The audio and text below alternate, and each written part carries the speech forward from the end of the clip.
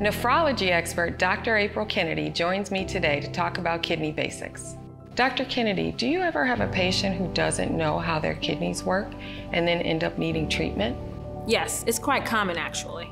A 53 year old patient of mine had been dealing with fatigue and high blood pressure, came to me and asked if there might be something wrong with his heart.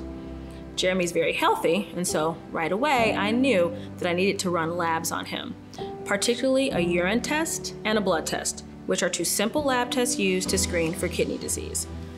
A lot of Jeremy's symptoms may look like heart issues, but this is a common misconception because most don't understand or even know the function of the kidneys.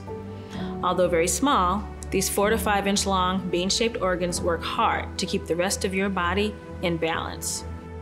Kidneys help remove excess fluid and waste, control blood pressure, help make red blood cells, help keep bones healthy, and help control your body's pH levels.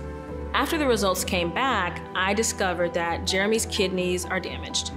Over time, toxins have built up and are causing him to feel sick. Chronic kidney disease is a silent killer because people may not feel sick or even notice any symptoms until their kidneys can no longer remove fluids and waste. Damaged kidneys affect every part of your body. This can cause serious problems, including heart disease and heart attack, stroke, anemia, nerve damage, high blood pressure, and eventually kidney failure. Furthermore, diabetes and high blood pressure are risk factors that increase your chances of getting kidney disease. Many don't know this, but 33% of Americans have or are at risk for kidney disease.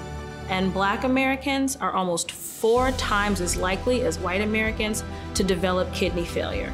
While black Americans make up about 13% of the population, they account for 35% of the people with kidney failure in the United States.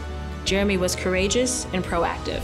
He took charge of his care and recognized that knowledge is power in helping him know his treatment options and slowing his progression. So Jeremy is now empowered and can plan ahead and possibly inform others. Yes, and I encourage everyone to be an active participant and take charge of their health. Do your part, ask questions, and be prepared.